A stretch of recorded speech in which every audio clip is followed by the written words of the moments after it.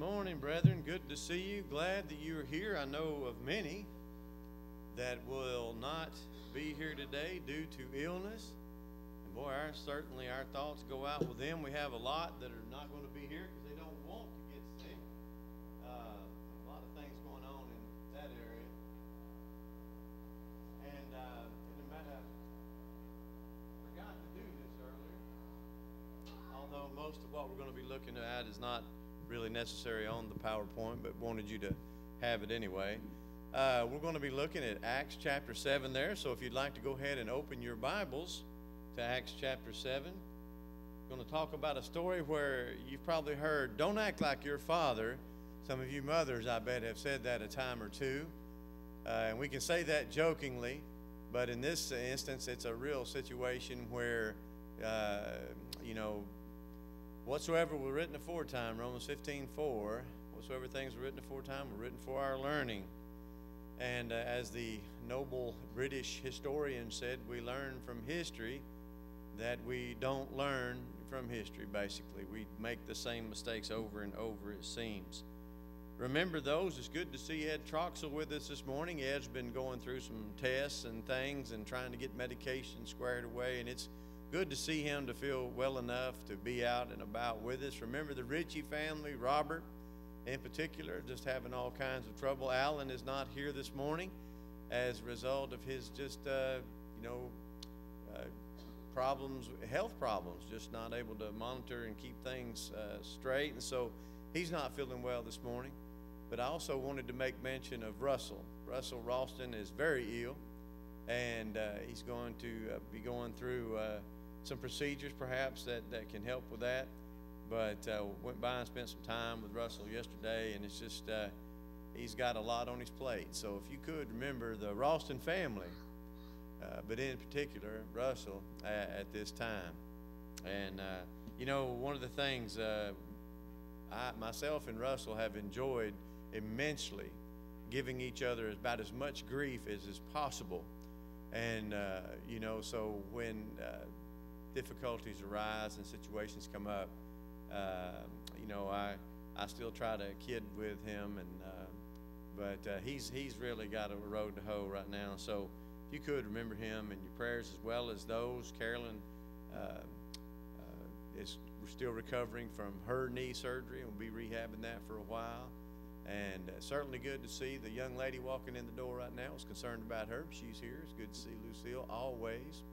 And remember uh, Wanda and David Williams as well recovering from surgery. So we just got a whole bunch of walking wounded, and uh, so just be thoughtful uh, of everyone as best you can. Remember the Jackson family, and uh, we're, we're looking at here in uh, the story of Stephen actually begins in chapter six, is where uh, we're going to run across him for the first time. Now, not saying these are deacons in, in Acts 6, but it certainly uh, it looks as though they uh, are doing the work of. They're never called that, so I'm hesitant to call something that the Bible doesn't call something something, but it looks to me like they're they're serving in a deacon capacity.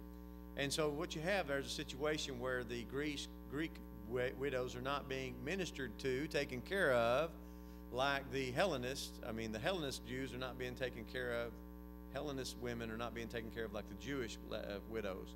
And so there's a problem you know, hey, you don't love us. You know how feelings can get hurt over even the best of intentions, you know. Sometimes people can uh, just draw the wrong conclusion. Sometimes you can forget things. You know, uh, boy, I try when I mention somebody or something, uh, like uh, Joe uh, Stewart having a birthday yesterday. You, you know, you just want to make sure you don't miss anybody. Joe said I could have missed that probably, but you know, we we don't want to hurt people's feelings, and so a lot of times people will like well, he must not like me or they must not like me because they, it's not that. Um, you know, it's just sometimes we can't remember everything. And uh, so, uh, you know, that's one, one of the reasons we uh, sometimes uh, have problems. And it's people think that something's being, they don't love me or something of that nature, when in reality it was just an oversight. And that just happens, you know. So we find that happening here, I believe, in Acts chapter 6. Did they not come on? No. Those are nice looking screens, though, though aren't they? Uh,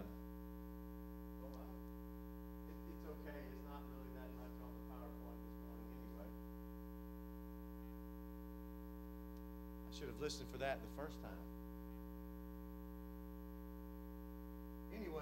Say in speaking, you're supposed to move around, get your audience's attention. So that's what all this has been about. You think I just forgot to turn the PowerPoint on this morning? It's not. I'm getting eye contact with you. Hey, believe it or not, I used to be a mover. Then I came to South Pittsburg. They say, look, that camera don't move. Stand there, don't move. So I was like, okay, you know. So now we got a, a camera that'll pan a little bit. Anyway, you don't need to hear that.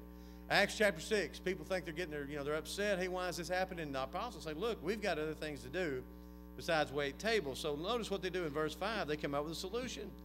And so they, uh, verse 4, we will give ourselves continually to prayer and the ministry of the word. Verse 3, but you look out for some fellas that can take care of this. Seven men. Notice in verse 5 that uh, Stephen, a man full of faith, Holy Ghost, is one of those. Philip, and then you have these other fellows named. But that's where we meet Stephen. And so he's going to be part of that work where they're taking care of those Grecian widows. But in verse 8, it says, And Stephen, full of faith and power, did great wonders and miracles among the people.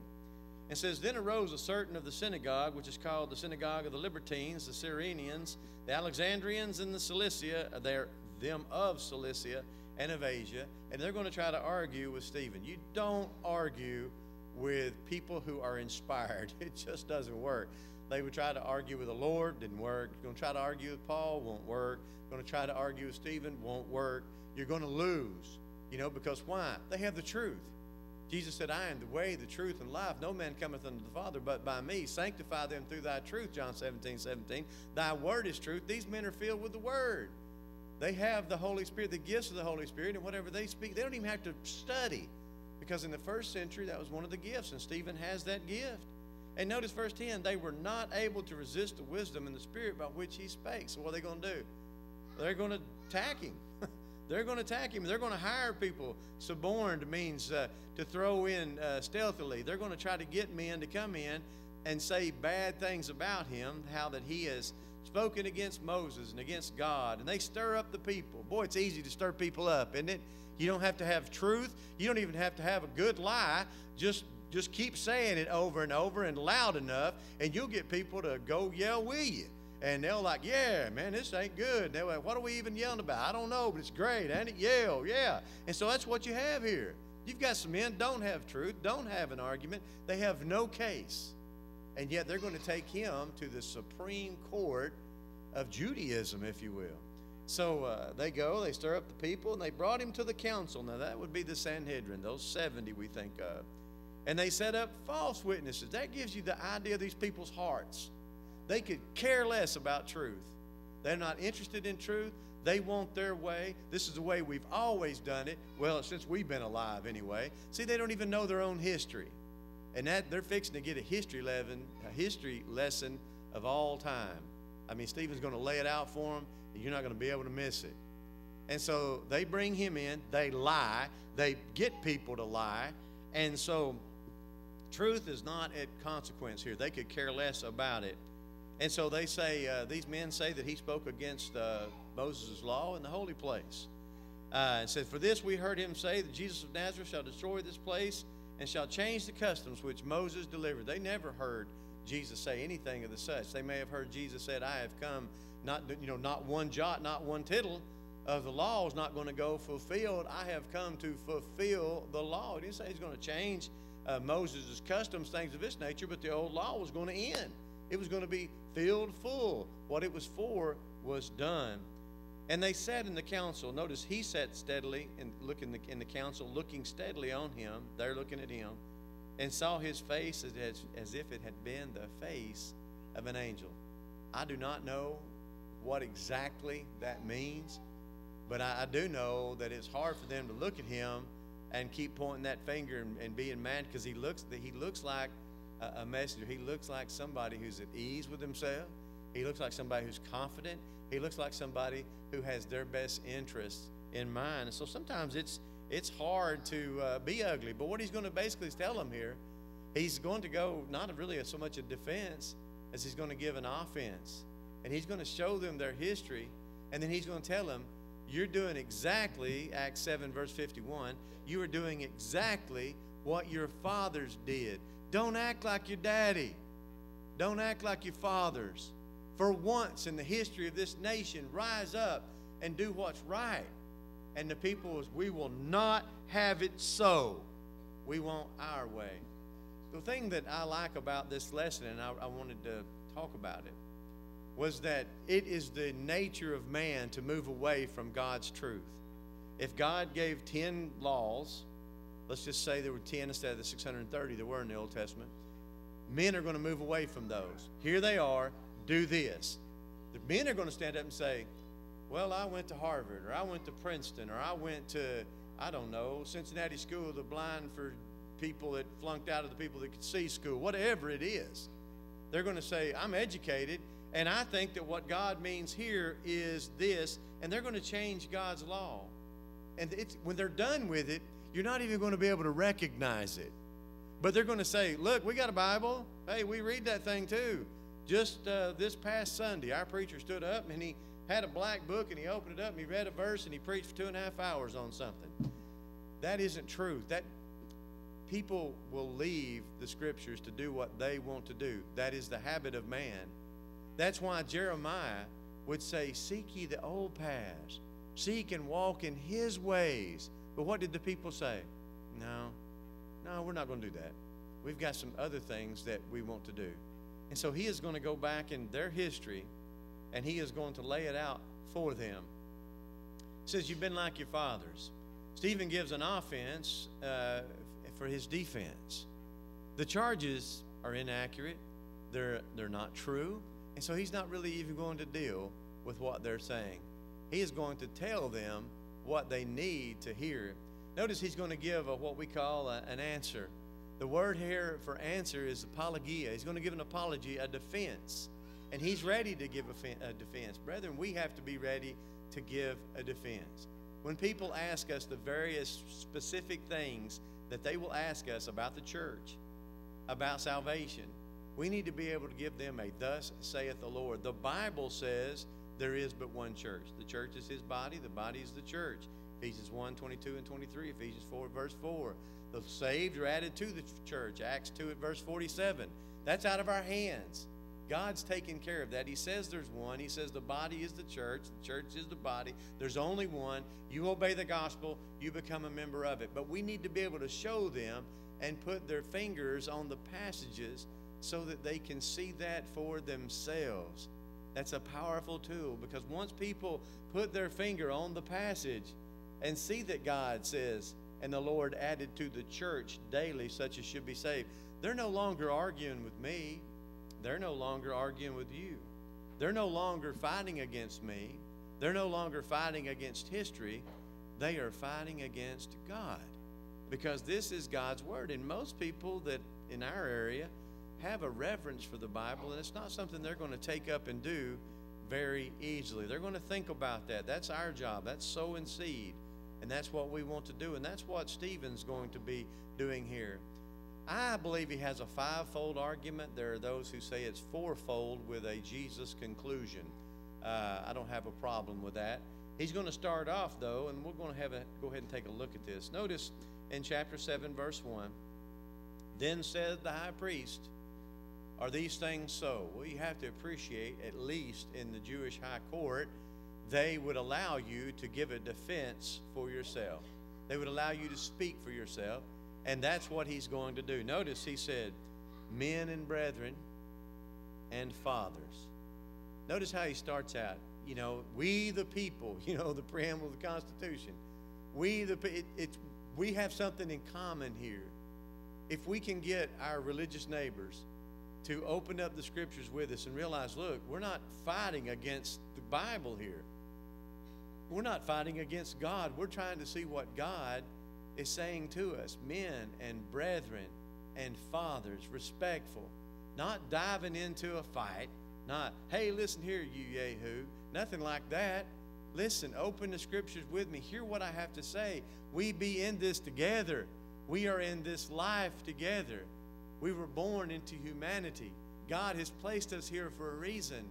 And if we will come together and reason and look at what God has told us in the scriptures, then we can come to a reasonable conclusion of what he's saying to us. He says, Hearken, the God of glory appeared unto our father Abraham when he was in Mesopotamia. Mesopotamia. Let me try that again. There's some things he's going to try to show here.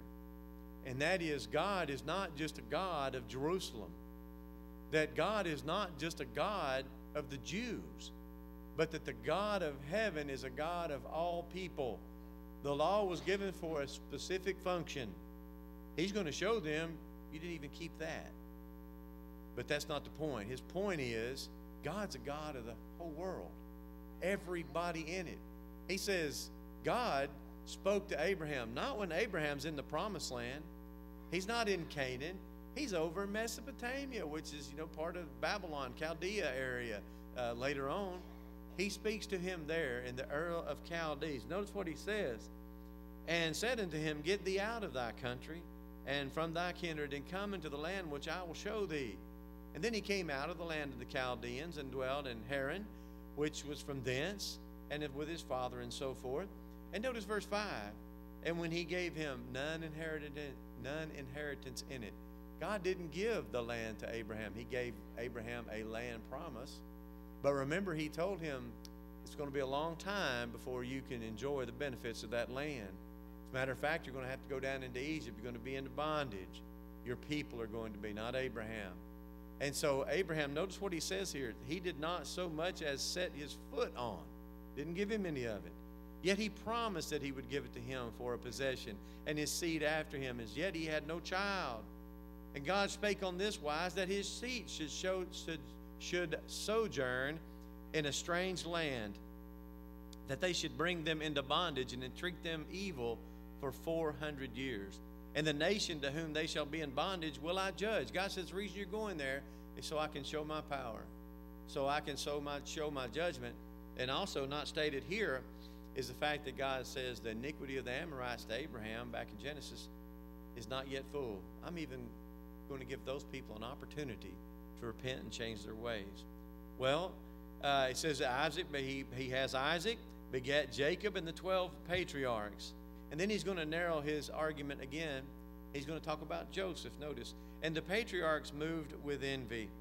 Uh, I love that they move. Here, they're going to reject what God, they're actually going to, you know, work with God here, if you will, in an evil way. They're going to try to do something bad, but God's going to tell them later it was for good. And so, one thing I did skip, I should have gotten verse 8. And he gave him the covenant of circumcision. So Abraham begat Isaac and so forth. The covenant of circumcision, it was a pledge, a promise. And before, and here's the thing before there was a holy place, the Holy Land, so to speak, uh, that people, you know, nowadays there is no Holy Land. All land's good to go. Be better if we rephrase that as the Bible lands. But before there was a holy land, there was a holy people. And then there became a holy land, if you will, where the holy people lived uh, in God's people. But now, that holy place is the church. There's a God is holy, and wherever God is, is going to be holy. And that's the theme of what he's going to say here. Notice Joseph here, the story of Joseph, uh, verses 9 through 16 says, The patriarchs moved with envy, sold, sold him into Egypt, but God was with him. Where's he at? He's in Egypt, not in the promised land. Who's with him? God. God is active with Joseph in Egypt, delivered him out of his afflictions, and gave him favor and wisdom in the sight of Pharaoh, king of Egypt. Where's God doing all this work? Six times out of these eight verses, God's going to talk about Egypt. Egypt. That's where God's busy at right now. Because that's where his people are going. That's where one of them is. And he's going to bring the rest of his people there. And he's going to save Israel by taking them uh, to uh, Egypt. Notice uh, that we're going to talk about Joseph until he gets to, what is that? Uh, verse 17. Verse 17, we're going to switch gears. We're going to talk about Moses. This is going to be the, the meat of his argument. Three 40 year periods of Moses' life. Moses lived 120 years, divide them up real easy. First 40 years, he's where? In Egypt. God blesses Moses in Egypt, not in the Holy Land, but in Egypt. And then, after remember, he thinks, hey, it's time for me to deliver my people. He slays the Egyptian who's, uh, you know, mistreating one of the Hebrew slaves. And what happens to him? You know, he has to leave. He has to leave, and he goes where? Midian. Midian is not in the Holy Land. As a matter of fact, it's, you know, out, out before you get the Holy Land from Egypt. Well, notice that um, what he says here Pharaoh's daughter, of course, raises him. Verse 22 Moses learned all the wisdom of the Egyptians and mighty words and, and deeds. Uh, but when he came 40 years old, he, you know, verse 24, smote the Egyptian, has to leave. And so he goes into Midian. And so in verse 29, fled, saying, I, I was a stranger in the land of Midian, and he begat two sons. And when he was there 40 years, there appeared unto him in the wilderness of Mount Sinai an angel of the Lord. We're not in, we're not in the Holy Land, we're in Midian.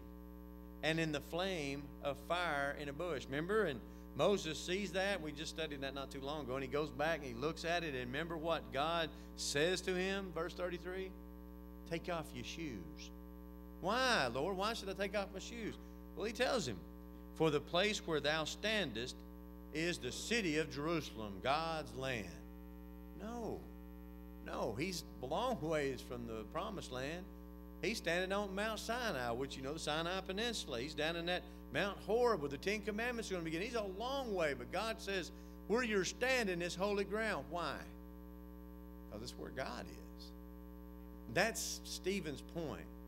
That holiness is determined by where God is. It's not just this Temple Mount. It's not just Jerusalem. It's not just the Jews. This is salvation for all men, and it was necessary for the Christ to fulfill that law. They do not want to hear that. They are not happy with that at all. But notice this Moses brought them out. He's going to go in and deliver them. Verse 36 showed wonders and signs in the land of Egypt and the Red Sea and the wilderness for 40 years. Verse 37 This is that Moses which said unto the children of Israel. Now, this is in the law of Moses. In Deuteronomy 18 at verse 15, the Bible says, And he shall raise up a prophet like unto me. Hear ye him. Prophet there's capitalized. King James translators want you to know that he's talking about, we, we're pretty sure this is messianic. Of course it is, right here. Stephen's going to quote it. He's quoting what Moses said. Now, remember the Sanhedrin. They are the supreme court of their country. Just like our Supreme Court is in Washington, and they have a document that they base everything off of. At least they're supposed to. What do we call it? The Constitution. Okay? The Sanhedrin has a high court in Jerusalem, the Jews do, in Jerusalem called the Sanhedrin, and they base everything off what? Their Constitution, which is what? The law of Moses. What did Moses say? God shall raise up a prophet like unto me. Hear ye him. If you don't listen to him, you are going to be condemned. And so, uh, him shall you hear at the end of verse 37. Verse 38 This is he that was in the church in the wilderness with the angel which spake to him in the Mount Sinai and with our fathers who received this lively oracles, the word given by angels, if you will. We have the Bible, that's how we got it. And notice, to whom our fathers, verse 39 to whom our fathers would not obey. What happened? They gave us the Old Testament. What did we do? Say we ain't going to obey it. Now they even made covenants. That's one of the tragic things you read about Israel, swearing they're up on the mountain, Moses reading the law, they're saying, Well, amen, we're going to do that. We're right there. And boy, it ain't no time at all. They're not. When it gets even more specific, you get into the time of Ezra, you get into the time of Nehemiah. We're talking about people standing there right there saying, we're going to do exactly what God has to say. Boy, we're not going to leave the law. And it ain't five years later, they're marrying foreign women. They're bringing people into the land. They're intermingling with the nations round about them, things that God said not do. You can just go down the checklist. They said, We won't do that, we won't do that, we won't do that, we won't do that. And five, uh, ten years later, they did that, they did that, they did that, they did everything. They would not listen to God. Now, why say all this? Bring this over into a modern connotation. Jesus says there is but one church. Men say thousands. God says there is but one way into heaven, my son. Men say many ways. Go any way you see fit. God says do this. Men say no, we're going to do that.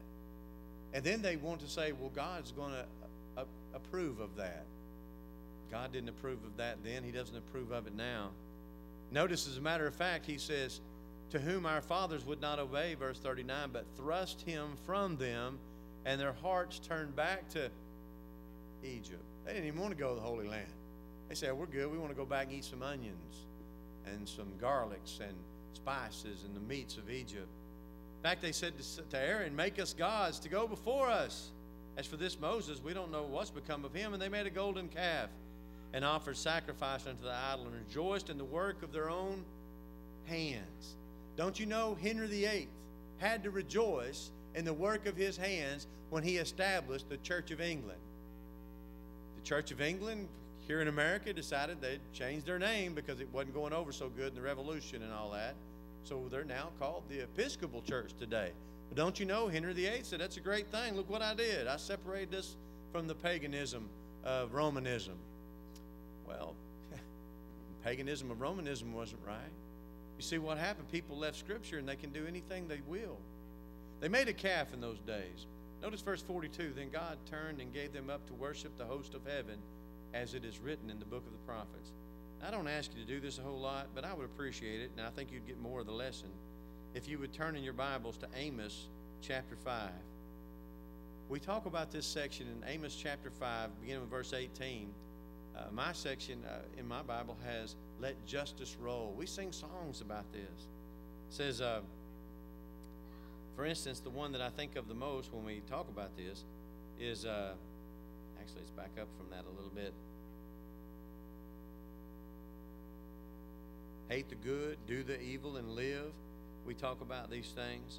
Um, but the idea of the justice rolling, I want you to see what he has to say about. we talk about the lion and the bear. Man runs from a lion, and he gets met by a bear, leans on the house the wall, and a serpent bit him.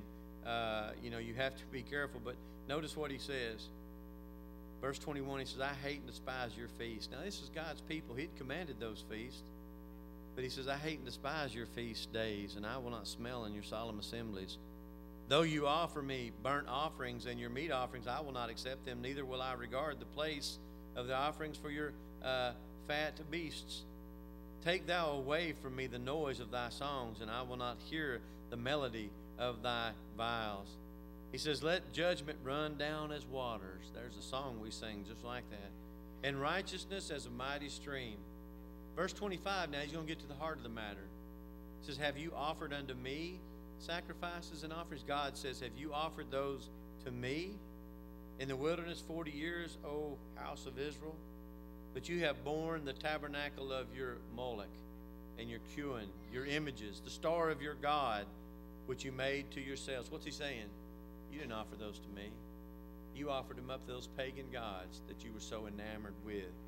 He says, Therefore, I will cause you to go into captivity beyond Damascus, saith the Lord, whose name is the God of hosts.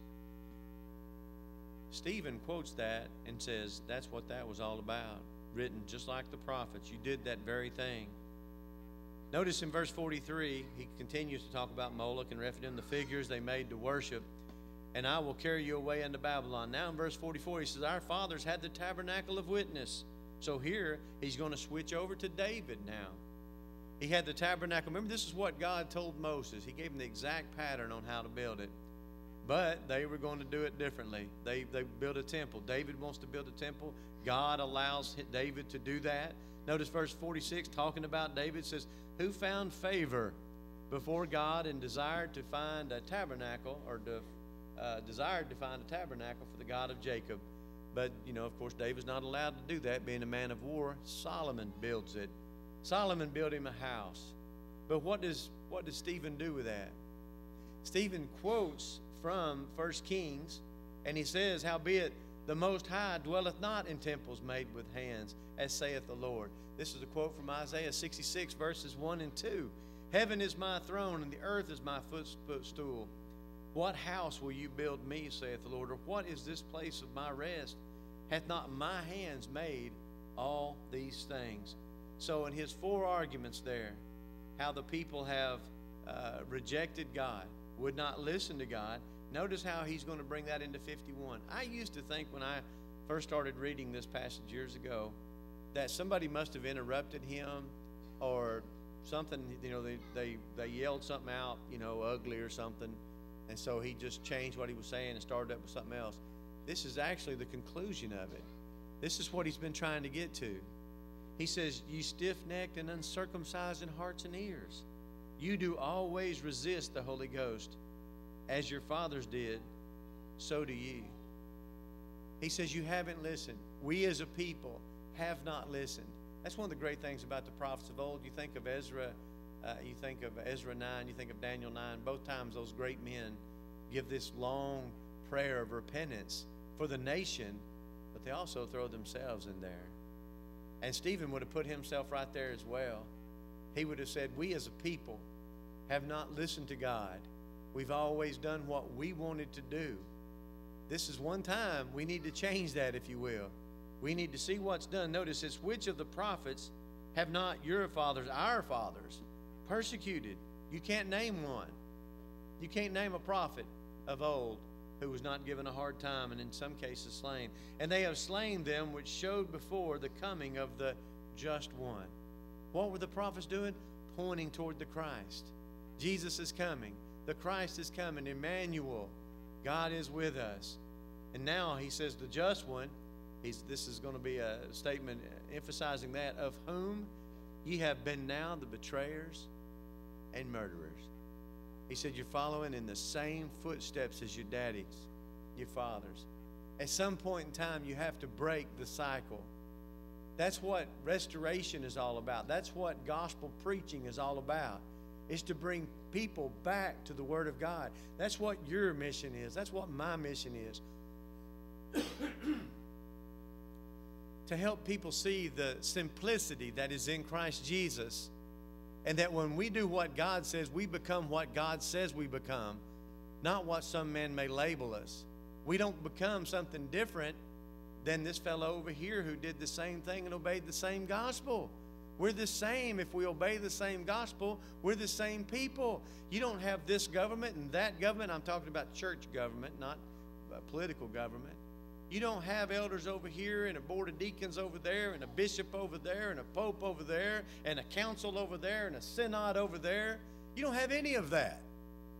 You have what the Bible says. What does the Bible say? Jesus is the head of his church, and he has given that authority to local elders, local leaders, presbyters, elders, pastors, in the sense of the men qualified in 1 Timothy chapter 3. And you have no right to deviate from that or you leave God. He says, we're just not in the habit of doing that. We've been stiff necked. We've been uncircumcised in heart and ears. We won't listen. When God says do this, we say, well, that's a pretty good idea, but wouldn't this be better? And surely God would want us to do this instead of that. He says, don't do that. He said, You killed the Christ, the just one. You've been betrayers and murderers. Verse 53 who have received the law by the disposition of angels. What's he saying? The old law was given by angels. You got it by the disposition of angels, Mount Sinai. But the point is, the, the major thrust of that, and have not kept it. You haven't kept the law. You want to talk about the law. You want to be a justice of the law. You want to be a part of the Sanhedrin. You want to be a Pharisee. You want to be somebody who knows the law inside and outside, but you have not kept the law. Well, that's all. They can't take anymore. They heard these things. They were cut to the heart and gnashed on him with their teeth. When he, being full of the Holy Ghost, looked up steadfastly into heaven and saw the glory of God, and Jesus standing on the right hand of God said, Behold, I see the heavens open and the Son of Man standing on the right hand of God. Then they cried out with a loud voice and stopping their ears, ran upon him with one accord and cast him out of the city and stoned him. Capital punishment for telling them the truth. It's no different than they had done the, the uh, prophets before, and it was no different than they did our Lord. These were God's people. The lesson here is God's people are prone to leave the truth.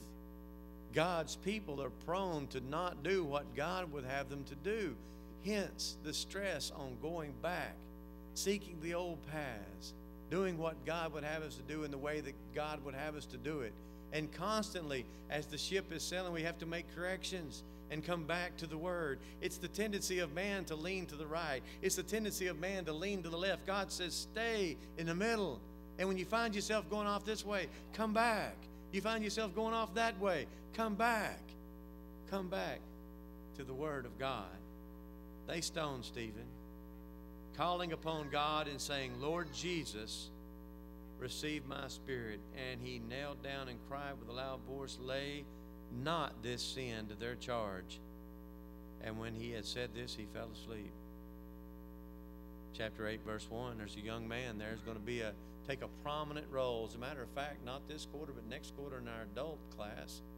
On Sunday mornings, we'll be talking about Paul in the book of Acts. Who's Paul? Well, he's Saul here from chapter 8, verse 1. You think of the example. Here's a man, Stephen, who lived like Jesus, who preached like Jesus, who died like Jesus. You might say, well, what, what good? You know, that, that's terrible. I can't believe that. We may be think, you know, oh man, poor Stephen. No, not so. If so, you missed the whole point. What we need to be saying is, poor Israel. They didn't listen to the Word of God, they didn't make the corrections. They did as so many have done, they killed the messenger. Augustine, by the way, we've been saying that wrong. Isn't that great? It's Augustine, St. Augustine of Hippo, about a fourth century theologian, said, and I believe it's very, very, uh, very accurate. The church owes Paul, and boy, don't we owe a lot to the idea that we have Paul. The whole last half of the book of Acts, Romans through Philemon, and I'm thinking probably Hebrews as well, but a great portion of the New Testament came from the pen of the Apostle Paul. Augustine says the church owes Paul to the prayer of Stephen. Notice Saul standing right there, and he's not only, uh, you know, watching it, but he's an active participant in the fact that he's like, go get them, guys. Wipe out that sect, S E C T. Wipe them out. We need to get back to the God of heaven, which is the very thing that Stephen's been trying to preach and to teach with this sermon. With this, with this, the beatings that start in Acts chapter 5 go capital. They go into murder. And so as a result, the disciples have to go everywhere. And as they go, what do they do? They, they preach the gospel. Don't you know that as Paul obeyed the gospel and became an evangelist, uh, don't you know when he was cold? Don't you know he was out there floating on pieces of board where one of the shipwrecks he'd been involved? Don't you know when he was having the stripes laid to his back with those rods that he couldn't think back and see Stephen as he was having the life literally beat out of him with rocks. Say, Lord, lay not this sin to their charge. And draw strength and comfort from that fact, knowing that just like those Jews who were killing Stephen, Paul was right there. And that probably helped him, I think, a lot to go through that pain and agony and go through those situations thinking these people are just doing this out of ignorance, just like I did. One thing, brethren, that we need to do is take a lesson like this, learn that we don't learn these lessons and be ever vigilant to do things the way that the early church did. Don't look at the innovations that are going so rampant upon among even those of our own of our own people. And constantly look what we're doing and weigh that by the word of God. If we do that, if we stick with the word of God, we're going to be just fine. We'll be just fine. If you're here this morning, you've never obeyed the gospel. Over and over again, you see the same situation happen. People come to an understanding of the truth by hearing it, by reading it. Based upon that, they learn that they're to confess to Christ before men, having repented or changed the way they're living their lives. And it's culminated in their salvation when they have the circumcision not made with hands, the baptism, baptism in water for the remission of your sins, where you're not doing the work. We're going to talk about that tonight when we talk about grace in Ephesians 2 8 9. We're not working our way to heaven. Nobody does any work in baptism except the guy who's putting you in the water. And then when you're in the water, God, who's doing the operation of washing away your sins and raised to walk in newness of life. You're not working your way to heaven with that. That's a terrible thing that people have tried to uh, use to accuse God of saying that His plan uh, somehow is working your way to heaven. We're simply submitting to what God would have us to do. You need to do that. If in times past you have, you left your first love. Like these Jews of old, you, you love God, you meant to do well, but you just found yourself doing something you ought not to be doing, then confess that. Come back home. If we can help you in any way, we encourage you to come as together we stand and sing.